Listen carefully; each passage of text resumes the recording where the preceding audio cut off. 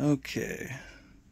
Now let me show you how the ESP32 cam works. Once you've got it all wired up, got an SD card inserted into it, um, you've got your apps downloaded from the Mayhem page where you install the um, from the Mayhem uh, online web installer. There's some links there for the various apps. You're going to want to download those and make sure that they're for your operating system.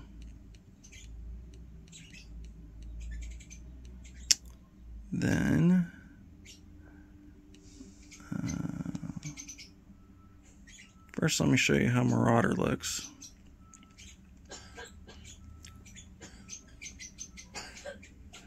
Oh, just crashed. That happens sometimes. No big deal.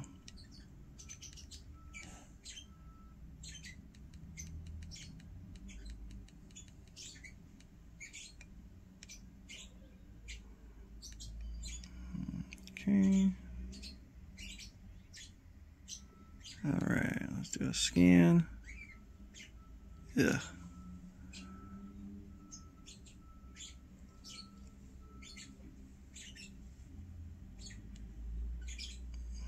Okay, let's try this again.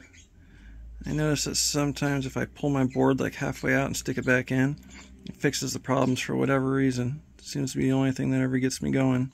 Yep, see? Now it's working fine. Strange. Probably need like a know, resistor, capacitor. I don't know, sounds good. Anyways, there's a Marauder working. And now let me show you the camera. To get the camera working, I just mash the pad here. Just make sure I don't hit the return button or it ex exits you out, so don't do that. There we go. Just mashed it. No, didn't do it.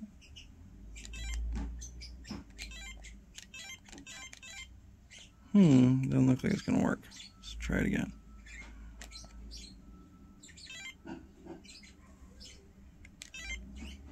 There we go. Yeah, you see? Just mash it.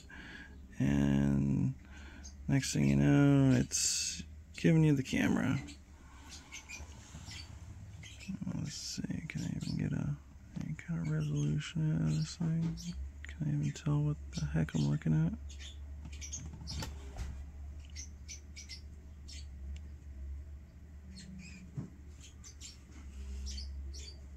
Hmm. Can I even tell that I'm looking at the dog?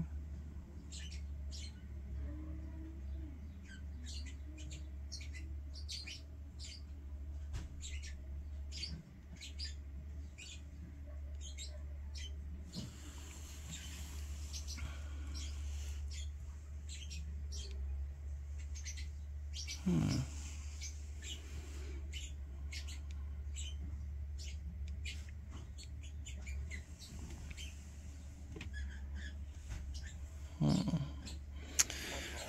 Anyways, the camera's not great. I mean,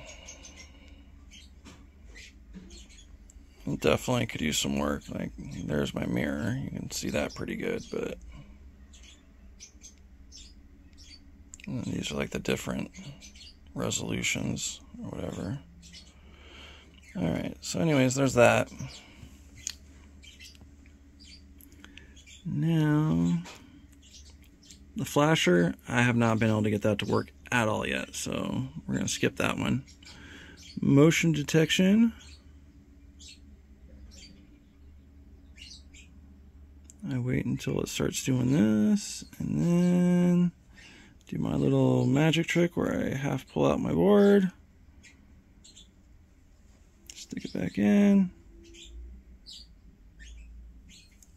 Oh, I didn't quite do it. Okay, let me try that again. There we go. See, it's working now.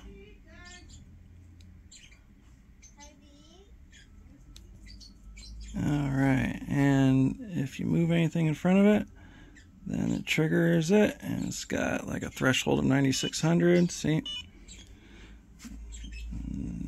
that sets it off. And the Nanny Cam and the QR reader are just similar versions of this. Um, let me see if I can get the Nanny Cam to turn on for you real quick just so you can see.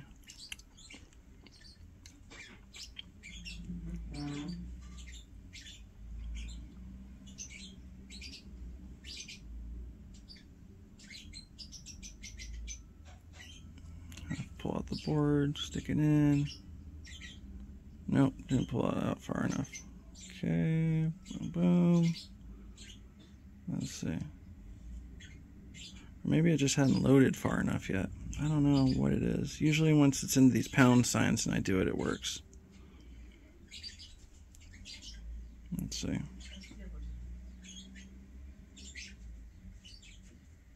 Hmm.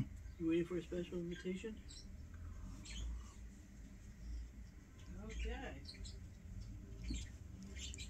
Come on, there we go. Then it starts doing the training. And now there it is for the nanny cam. Move in front of it. Haven't tried connecting to it wirelessly. Not sure how that works yet.